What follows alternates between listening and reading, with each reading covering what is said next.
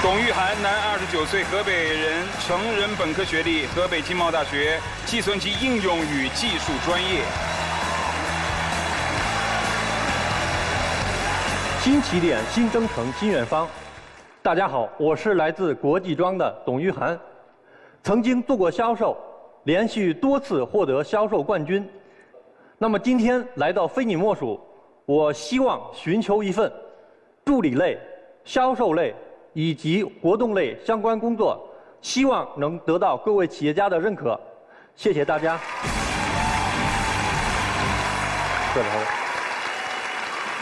我看你上上来之后，你的穿着、你的打扮，还有你的神态和你的肤色，让我有一种特别的感受。有什么想法吗？我我我我感觉你好像刚刚重新获得自由。啊，有这种感觉，马上就要飞了。你看啊，你看你今天你说你你你穿双鞋你也擦一擦呀，尽是灰。您这裤子就不能捋一捋，穿条新裤子或者熨一下？哎呀，这个裤子我舍不得熨，这是媳妇儿买的。您这西装就不能扣上？这个太这这也是结婚买的，这没办法。您这衬衫就不能换件白色的？白色不是显得特别太太严肃了吗？这也是白色的呀。家庭成员里面怎么只有张丹一个人呢？还有孩子啊？对呀，为什么不写呢？因为孩子小，那个字儿也不好写。名字不好写就不写啊，略过啊。是谁起的呀？我起的。你起一个不好写的名字干什么？后悔了，我想改。有意思吧？有，有意思吧？自己起的名字说不好写，略过不写，当没这个人儿。好，行行行行行啊。来，说说你。啊，你今年二十九岁，对吧？二十二十八，二十八。差一岁，你那么计较干什么？因为再过一年就三十了，那种感觉不太好。嗯，我要过三十大寿了。我希望在未来两年职业还是有发展空间的。所以说小一点。对对，小一点是对我自我安慰嘛。就觉得你有点不像这个年纪的人，你有点很孩子气那种感觉，是不是？从小到大你都是父母管着的。对我那个有两个姐姐啊，所以说我就相当有四个父母。三个妈妈一个爸爸，对他们怎么管你呢？多幸福啊！就我来，我来北京这边啊，呃，也是他们有些怕不放心哦。你这都多大了，你还不放心呢？我一般很少一个人出去啊。你是哪里？你是在河北？这次是你自己一个人来的北京？对。你今年二十九岁，你没有出过河北？我一个人没有出河北。所以他们在出发之前叮嘱你什么了吗？当然是一些安全方面的问题了。是是，你会发生什么安全问题呢？我就是怕丢东西嘛，也是怕。你有什么东西可丢呢？我手机丢了就找不着家了吗？哦，手机丢了就找不着家了。对啊。不是还有警察叔叔吗？可以啊。啊？对，我记得查你不查，你怎么订机票、订订这个订这个酒店？记住啊，人机在人在啊。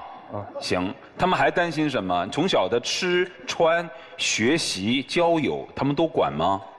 呃，呃，多多少少会管也，但是我还是有自己的主意的。啊，你自己独立决定过什么事情？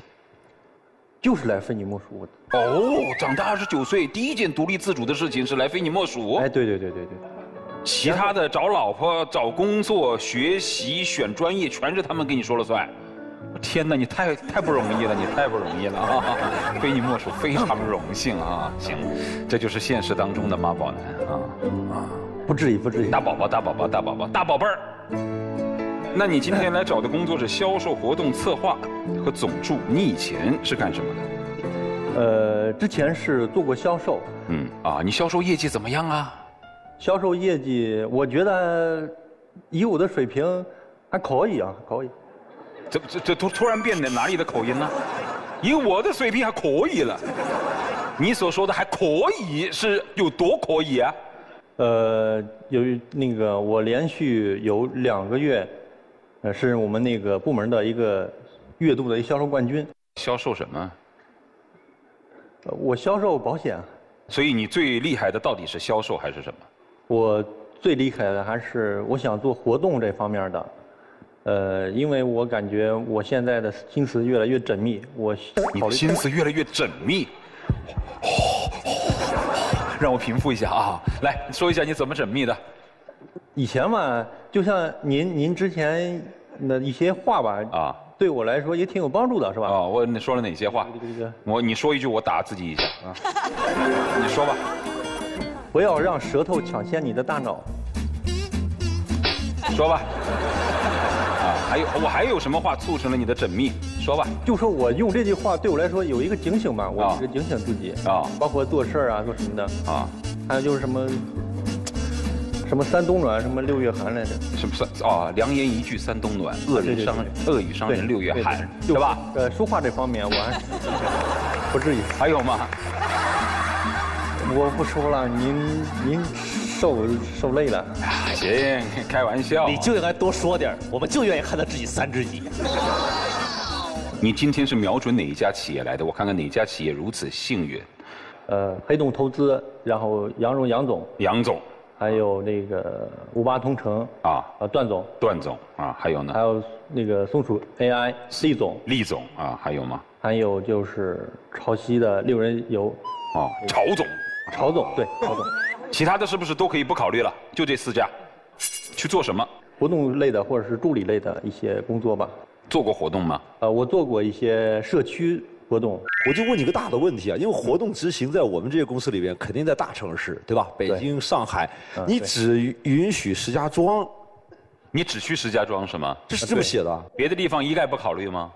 因为我觉得家庭跟那个事业，我的我的这个在我的这边是希望并重的。哟，好缜密，好有责任心，家庭为重，呃，不是。现在目前为止，我还是把工作放到第一位吧。但是我希望我我这个家庭还是，呃，需要去去维护、去打理的。有责任感，没错。那你要求薪资多少？我薪资如果销售的话，底薪是四四四 K。哦。然后那个活动的话是五 K，然后助理也是五 K，就这。倒是不高。那有一个问题啊，那个玉涵，你既然说你想在石家庄做这个找做这个工作嘛，你不是也想做助理吗？但你看到我们现场没有谁的助理会放在石家庄啊？那您您这边有这样的岗位吗？我你的意思是说，如果做 问得好，如果做杨蓉的助理，你接受在其他地方工作？我太太远的话，我还是不远，就北京。北京啊？啊，做他的助理，然后经常出出差。那北京我薪资我也没说呀，助理。你薪资多少嘛？你要求？那我觉得得七 K 吧。也就是说，杨蓉你可以接受七千在北京工作。对我，我因为有儿时的比较喜欢的类型吧，这种的。啊，儿时喜欢的类型。千万你千万不要这样呀，宝宝好害怕。我怎么说呢？拿什么拯救你，我的兄弟？你这个完全就是一个没长大的大宝宝啊！宝宝，你今天真的就是完全不在调上，你知道吗？一个大男人，你现在的话就想选择一个安逸的生活，四五千块钱，然后你怎么去养孩子，怎么去养老婆？你告诉我，我不知道，就是说你到底你接下来你要怎么走？然后的话，你做销售，你也不踏踏实实的去做，做你的自我认知也差了很多。你这样的话，你后面怎么办啊？你一家三口人都你都能少写一个，你说你能不能认真点，能不能长长大呀？我在他的身上，他表现出一种顽强的，呃，想要争取的欲望。妈宝很多是放弃的，他认为我就是宝宝，在他看来是我要成为一个男人，但是呢，这个过程好像似乎很漫长。第一轮选择去火雷。